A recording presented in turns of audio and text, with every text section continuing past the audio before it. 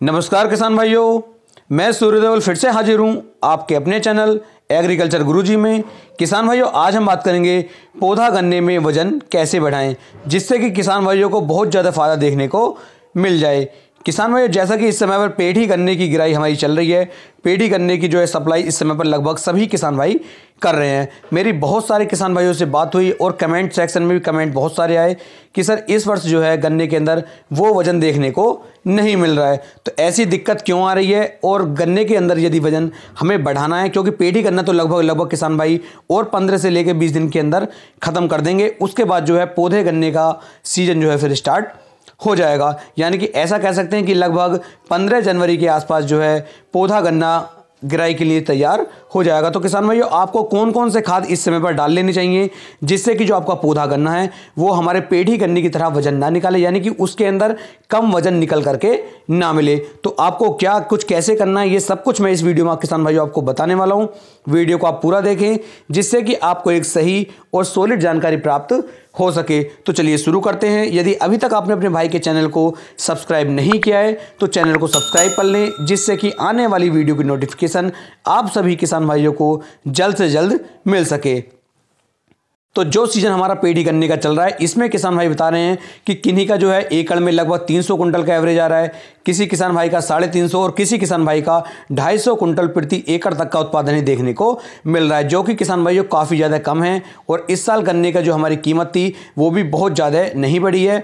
मात्र अभी तक जो है तीन सौ पचास रुपये का रेट हमें मिल रहा है, लेकिन उम्मीद है कि हो सकता है कि गन्ने के जो रेट हैं, ये जनवरी के आसपास आ करके बढ़ जाएँ, क्योंकि जैसे कि अभी उत्तराखंड सरकार ने कीमत बढ़ाई है, वो थोड़ी ऊपर पहुँच गई है यूपी सरकार से तो हो सकता है यूपी सरकार भी कुछ कीमतों में फेरबदल कर दे। तो चलिए शुरू कर लेते हैं। बताता हूँ मैं आपको कि पेड़ी गन्ने की तरह हमारे पौधे गन्ने का वज़न निकल करके ना मिले। तो किसान, पौधे गन्ने का आपको थोड़ा देख रेख रखनी है। अभी आपके पास लगभग एक महीने का समय बाकी है और एक महीने के अंदर अपने गन्ने के अंदर आप वज़न को बढ़ा सकते हैं। तो सबसे पहले तो किसान भाइयों, आपको ध्यान में रखना है कि हमारा जो पौधा गन्ना है, उसके अंदर गलती से भी नमी की कमी नहीं आनी चाहिए। यानी कि खेत के अंदर पानी आप लगातार चला करके रखें, खेत के अंदर नमी बना करके रखें, जितनी ज़्यादा नमी बनी रहेगी, खेत के अंदर गन्ना उतना ज़्यादा पानी पिएगा और गन्ने के अंदर पानी की मात्रा बढ़ जाएगी और मिठास की मात्रा जो है वो थोड़ी सी कम हो जाएगी, जिससे कि किसान भाइयों, आप जब गन्ने को लेकर के मील के अंदर जाएँगे, सप्लाई करेंगे तो गन्ने का वज़न आपको बढ़ करके